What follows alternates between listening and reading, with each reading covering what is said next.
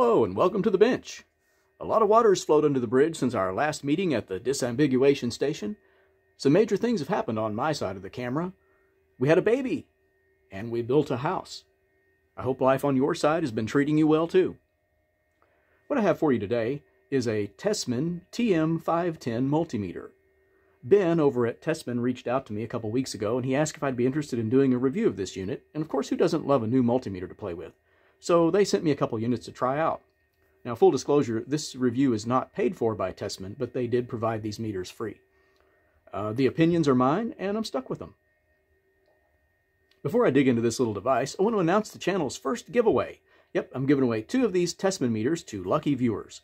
Stay tuned to the end of the video for more information on how to throw your hat into the ring and snag one. Okay, with that out of the way, let's get started. Like me, you're probably wondering who TESMEN is. Well, I asked a few questions about the company, and they sent me a fairly long bio. So instead of reading that here, I'm just going to post it over at componentfun.com. So look up in the description for a link. In a nutshell, TESMEN is a Chinese company, and this is their first product to be released.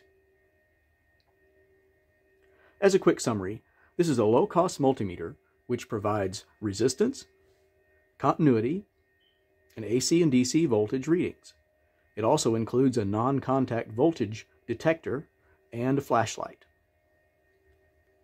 Its price point is approximately 12 US dollars on Amazon, and I'll have a discount code up in the description if you want to buy one. And to be honest, when I first looked up this unit, I was really skeptical about the quality for this reason, because it was so cheap. But after I've taken a look at these units, I'm pleasantly surprised. The unit is auto ranging, as you can see here, and it continuously scans between the four modes of operation AC volts, DC volts, resistance, and continuity until it detects an input. It comes with a little nylon zippered case, has a silicone outer jacket, and it also includes two Duracell, no less, batteries, AAA, which I like AAA batteries in a meter or AA batteries because they're a little bit easier to source than a 9 volt you usually have a few more of them lying around in a drawer, I find. The leads are soft and flexible, and I appreciate that because sometimes these cheap meters have really stiff leads that feel like a wire. These, these feel pretty nice. Let's take a look at the published specifications. And the they're included in the manual, but I'm going to put a screenshot here. So in the DC voltage range, it's rated up to 600 volts and the accuracy at all ranges is listed at plus or minus 1 plus 5 counts.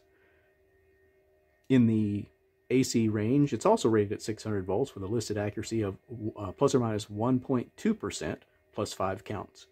The frequency range for AC is 40 hertz to 1 kilohertz. I'm going to overlook the true RMS statement for now. The minimum voltage that can be measured is 0.8 volts in both the AC and the DC ranges, and the maximum is 600 volts. But to be honest, I would not go anywhere near 600 volts with this meter. If you're working with voltages above the standard household ranges, well, let me say if you're working above low voltage, 12 volt DC or maybe 24 volts AC, you should be specially trained in safety and you should be using arc flash protection and high-end safety certified test equipment. Even 120 volt USA household current is no joke.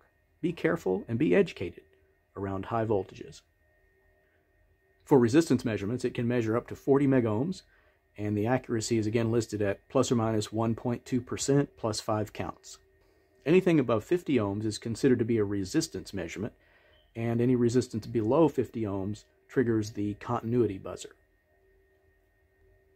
It also includes a non-contact voltage detection circuit, which is really handy to detect the presence of AC without touching a circuit.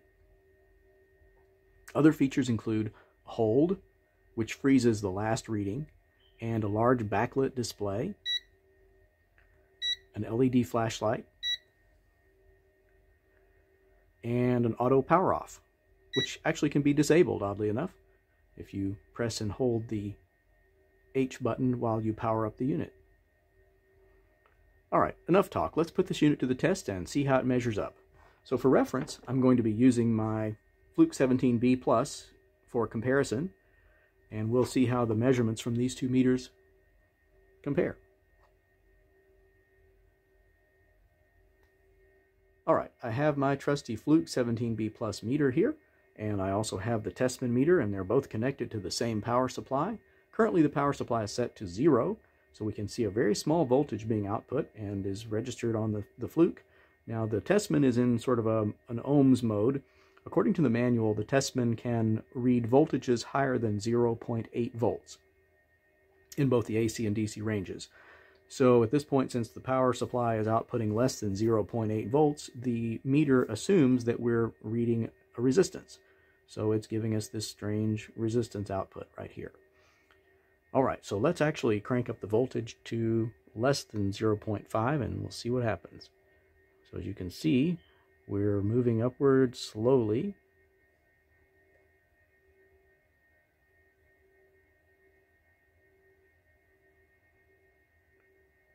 So at 0.59 volts, we don't have a reading yet. We're in auto ranging.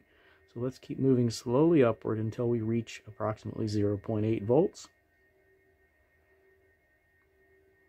There we go. So about 0.81 volts, the meter is reading 0.814, which is pretty daggone close to the Fluke 17B+. Okay, I'm satisfied that that's accurate. All right, let's raise the voltage. We'll go up to 5 volts.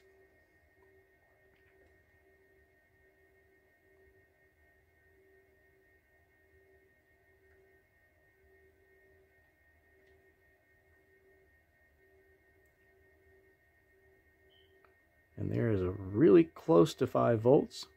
And it looks like the Fluke and the TESMEN are very close to each other. 4.97 versus 4.96. All right, I'm going to raise the voltage now to, let's say, 12 volts to simulate like a car battery.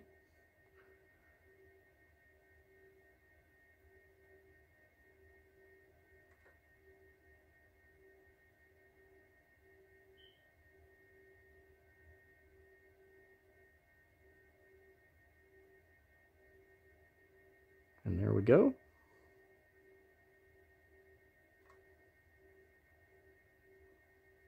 12 volts. So the Fluke registers 11.98 volts and the TESMEN registers 12.00. Let's see if we, and there I've pushed it to 12.00 on the Fluke. Yep, and 0.02. So about two hundredths of a volt different. Not that that's going to matter. All right, now let's go to 24 volts.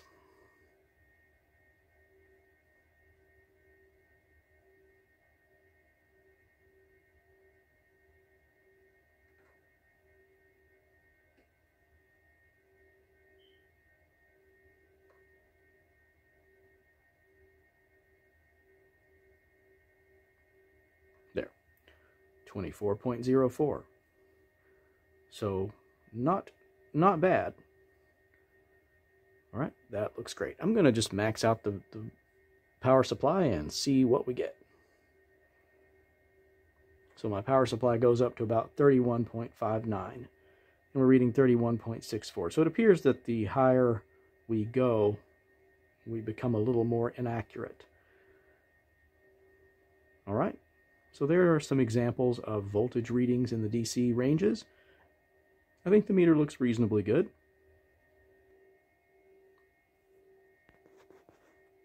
All right, let's do some resistance tests.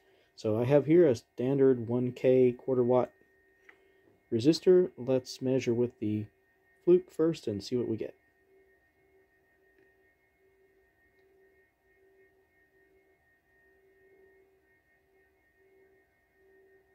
I'm getting almost exactly 1 k ohm. Alright, now let's measure with the TESMEN. You can see it immediately starts ranging there, and now we have 0.994. So that's pretty close. Alright, let's move to a different resistance. Let's go with 100K. Now this is uh, supposed to measure resistances up to 40 megohms. So let's go with this 100K here.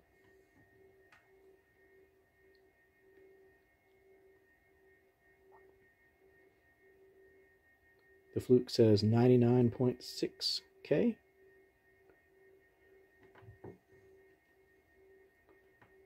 And the TESMEN says 99.8K. All right. Here is a 10K resistor. Let's check that one. 9.78. Nope, going up 9.83, 82, 9.82K.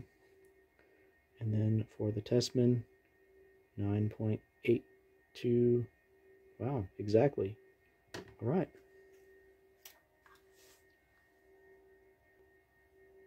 Okay, here's a 1.5 megohm resistor. Here's the fluke reading.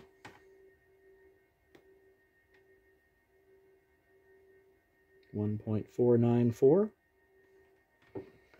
And the TESMEN reading, 1.497.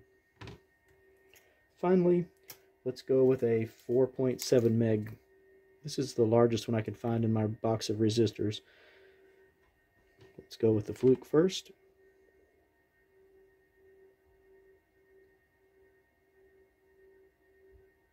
4.94, 4.92, Four point nine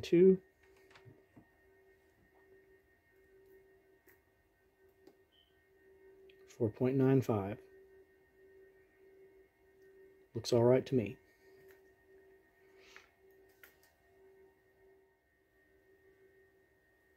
Now, of course, we have to disassemble the unit to see how it's designed. So let's pop the back off here. First, we'll pull off the rubber which is kind of a nice cover. It's soft and easy to take off. Let's pull the battery cover screw out first. And as I said before, I like the fact that it has two AAA batteries rather than a 9 volt.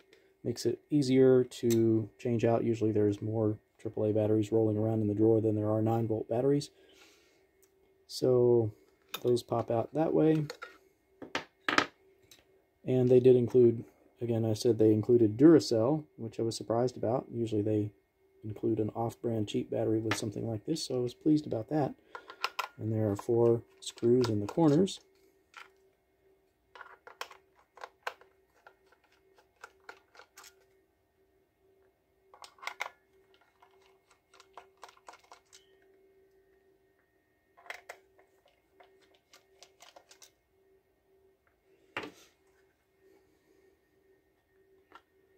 Take the cover off. And what you'll notice immediately is that the battery compartment is connected by these two springs to the battery compartment on the back cover.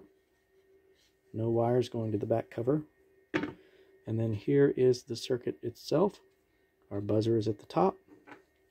Looks like we have a single chip blob, which probably means they're using a standard multimeter chip here to make it inexpensive. I'm sure they didn't design a custom chip for this. Now, one other thing that stands out to me right away is that there is no fusing protection on the input side of this meter. So this should tell you right away it's not a good idea to use this meter with high voltages. Now this meter operates in high impedance mode because it only measures volts, ohms, and continuity. So it never conducts a lot of current through the meter. But if there were a short of some sort, inside the meter, say it got wet or a piece of metal or something got dropped in here and shorted something together, we don't know where the failure would occur without a fuse. Having a fuse basically guarantees that the failure will occur within the fuse rather than within the meter or within the leads attached to the meter. So I would avoid high voltages with this meter at all costs. Now remember, even a car battery can contain enough potential to cause fires and damage possibly even injury. Let's test out the non-contact voltage sensing feature. So the sensing bar is at the top up here, and you'll notice that when we take the cover off and look at the circuitry. So I'm going to put it into non-contact voltage mode. It says NCV. Now, as I, I have a cable here, this is just a AC cable that's connected to the mains at 120 volts. So if I hold it near, it starts to detect it, and the backlight comes on, it sort of is hard to see. So holding it somewhat close, we get a low voltage detection. We're holding it near the, the wire here. And then holding it near the plug, we get a high voltage. The light turns red and we see a H on the screen. Holding it just near the cable would give us a, a low detection. But at least it can see that there is AC voltage in that line. That's quite helpful when you're working on uh, circuitry like a switch or a receptacle. Making sure you've turned off the correct circuit breaker. So, to summarize, I think this is a great little meter for hobbyist work, and I think it would be handy to have it in a pinch for continuity and voltage testing. The non-contact uh, detector makes it a nice safety check if you're working on your home uh, wiring and you want to make sure you remember to turn off the circuit breaker or that you got the right circuit breaker. I definitely would not use it for high voltage work or anything over uh, 12 to 24 volts DC probably and low currents. It's reasonably accurate, and I think it's very inexpensive for the number of features provided. As long as you avoid high voltages, I think this unit provides a good value for the price. The main thing that disappointed me was the lack of current measurements. But since it's an auto ranging meter and it's always operating in high impedance mode, it would have really been more difficult to add uh, current measurements without adding switching circuitry and more protection, and it would increase the price and the complexity of the unit. So my final thought is if you need a very basic secondary meter to toss in your glove box or your work bag, this little meter might do the trick. Now for the moment you've all been waiting for, the giveaway. I'm going to give away two of these meters to lucky viewers. How can you have a chance to win one? Well, it's simple. Just subscribe to the channel, like the video, and leave a comment letting me know that you want to win it.